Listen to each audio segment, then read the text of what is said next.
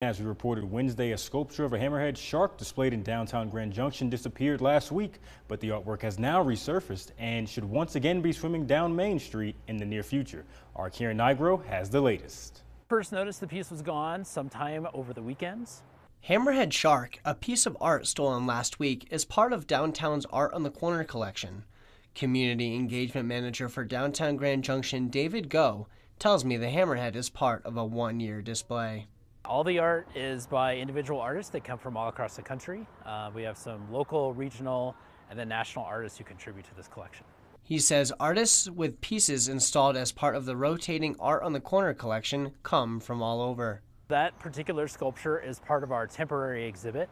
Um, every year in October, we switch those out. After disappearing sometime last weekend, Go says out of the blue, the hammerhead shark mysteriously resurfaced Thursday morning.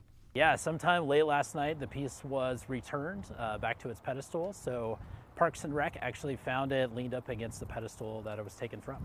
Even though it's been found, the statue isn't back on display just yet.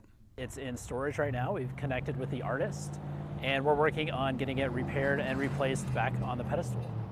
Although it needs repairing, Go says fortunately, the thief didn't cause much damage to the sculpture. When we got the piece back, it looked like it was in really good condition, so it should be a fairly quick fix. Go gives credit to the community for caring so much and thinks they are the main reason the shark is back in the main street swim of things. Karen Nigro, Wake Up Western Slope.